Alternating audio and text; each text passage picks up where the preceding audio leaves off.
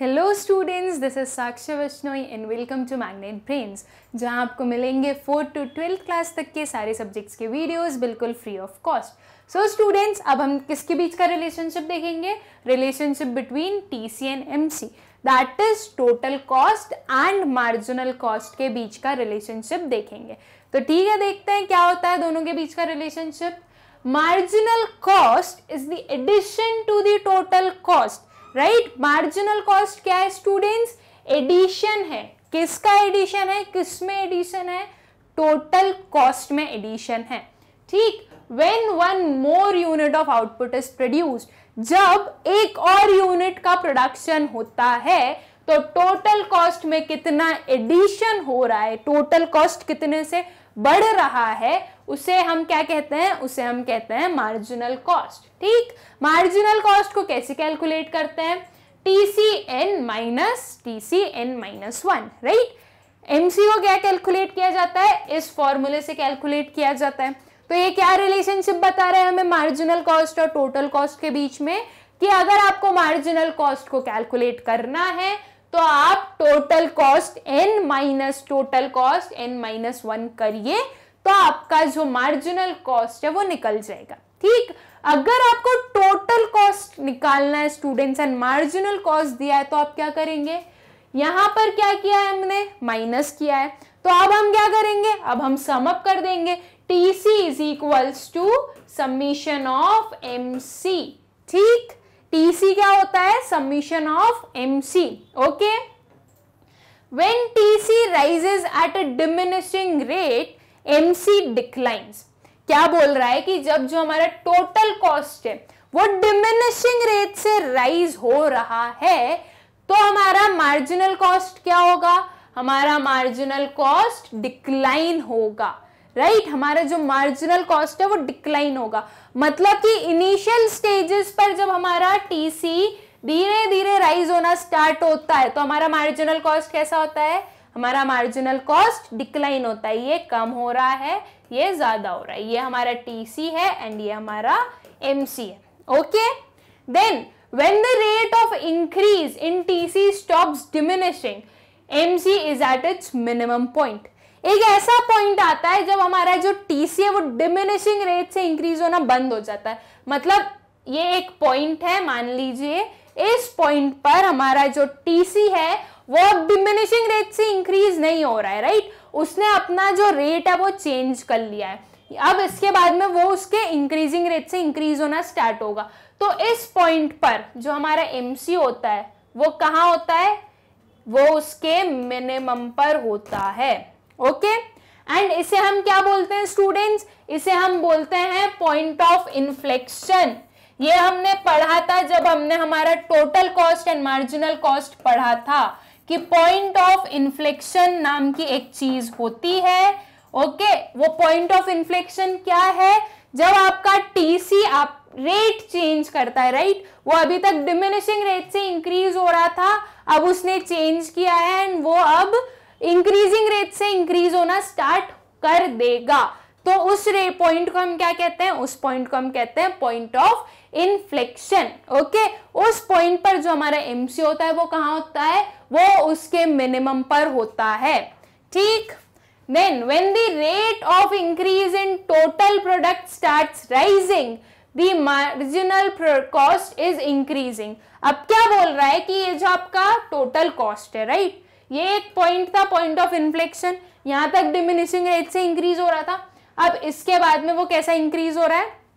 वो इंक्रीज हो रहा है उसके इंक्रीजिंग रेट से. तो हमारे एमपी एमसी पर दैट इज़ मार्जिनल कॉस्ट पर उसका क्या असर होगा? हमारा मार्जिनल कॉस्ट इस पॉइंट पर मिनिमम है. Right right? इस पॉइंट पर हमारा मार्जिनल कॉस्ट मिनिमम है. एंड अब इसके बाद में हमारा मार्जिनल कॉस्ट इंक्रीज होना स्टार्ट हो जाएगा। ठीक, जब हमारा जो टीसी है, वो इंक्रीजिंग रेट से इंक्रीज होने लगा है तो जो हमारा एमसी है, वो किस रेट से इंक्रीज होगा? वो अब क्या होगा? वो अब इंक्रीज होगा। पहले वो फॉल हो रहा था देन वो उसके मिनिमम पर आया एंड अब वो इंक्रीज होने लगा है। ठीक तो टीसी और एमसी के बीच के रिलेशनशिप्स बहुत इजी हैं स्टूडेंट्स और बहुत थोड़े से हैं राइट इतू से थे हमारे एमसी और टीसी के बीच के रिलेशनशिप्स क्या है एमसी और टीसी के बीच के रिलेशनशिप्स सबसे पहले तो जो हमारा मार्जिनल कॉस्ट है, वो क्या होता है? वो होता है एडिशन टू टोटल कॉस्ट तो ये हो गया हमारा पहला रिलेशनशिप ठीक? कि टोटल कॉस्ट में जो एडिशन है, वो हमारा मार्जिनल कॉस्ट होता है ओके देन एमसी को कैसे कैलकुलेट करते हैं हम? T C N minus T C N minus one इस फॉर्मूले से हम हमारे एमसी को कैलकुलेट करते हैं। या फिर अगर हमें टीसी को कैलकुलेट करना हो एमसी गिवन हो तो हम कैसे कैलकुलेट करते हैं? हम सम अप कर देते हैं हमारे एमसी का। That is T C is equals to summation of MC ठीक? फिर क्या देखा हमने कि जब हमारा टीसी जो है, वो डिमिनिशिंग रेट से इंक्रीज हो रहा है तो हमारा एमसी क्या होगा?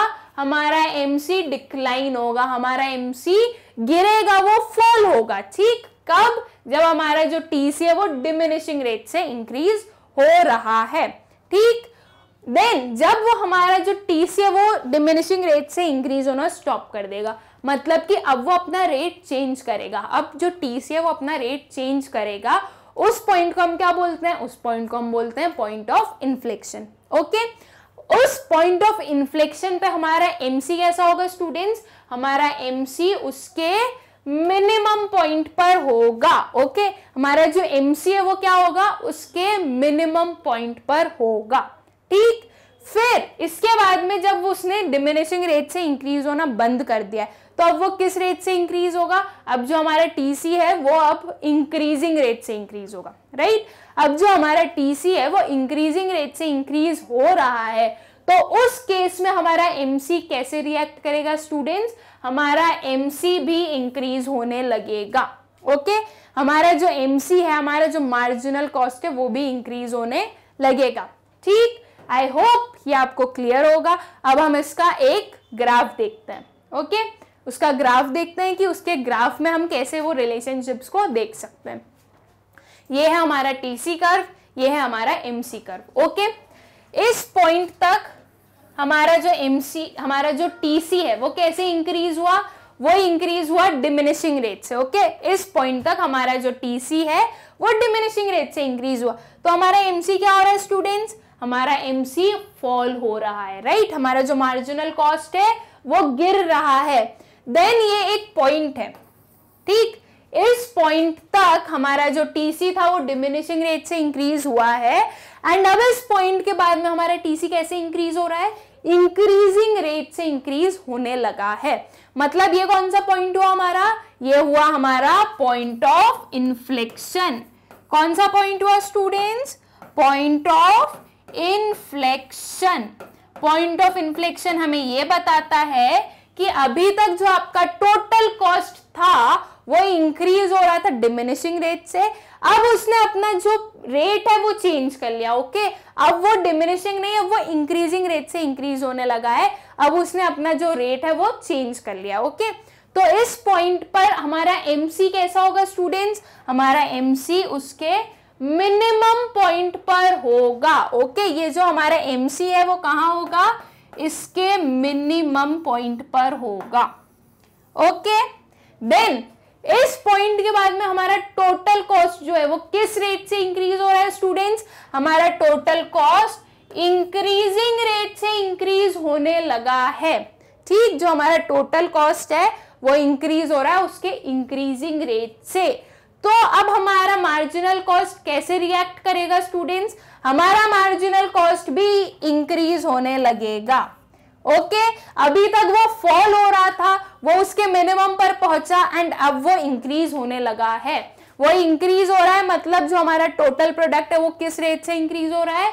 वो उसके इंक्रीजिंग रेट से इंक्रीज हो रहा है। ठीक? बस इतने ही थे हमारे relationships between TC and MC ये कुछ दो चार पॉइंट्स के रिलेशनशिप थे हमारे टीसी और एमसी के बीच में। बहुत इजी से थे। कि कब वो उसके मिनिमम पर होता है, कब तक एमसी डिक्रीज होता है, कब वो इंक्रीज होता है, बहुत सिंपल से हमारे रिलेशनशिप्स थे। आई होप ये आपको क्लियर होंगे।